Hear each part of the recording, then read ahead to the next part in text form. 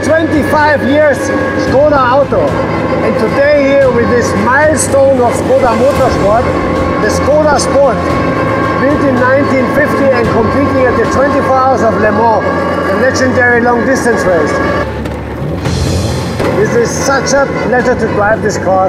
It's absolutely fantastic and great, great fun that I can do this here today.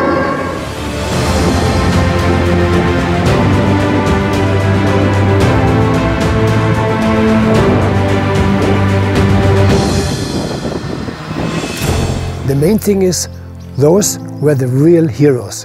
Driving with these cars, you know, no power steering, no power brakes, no electronic, no telemetric, no ABS braking system, you know. Even they had to repair the car on the track themselves when something failed, you know. Absolutely fantastic. Bodywork of Skoda Sport was designed by my grandfather Josef Velebný. He also left me the original construction drawing. When I found the car, it was uh, unfortunately not in uh, running condition, so uh, we decided to bring the car back how it looks like in the time of glory.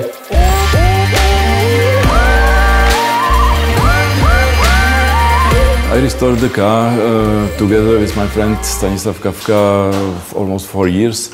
Uh, we didn't count the hours. We were every weekend, uh, every second afternoon here in the workshop, and we take every part in our hands and restore it, uh, changed. Uh, really hard work.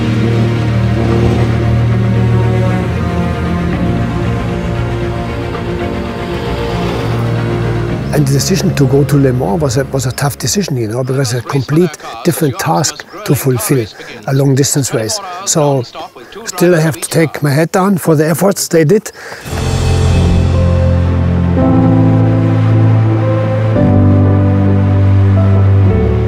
And then it was unfortunately all over because of this little thing here, a piston pin circlip. And if this thing fails, you have a huge engine damage. Unfortunately, top of the field in the morning, June 25 in uh, 1950. What a pity. Could have been a great success.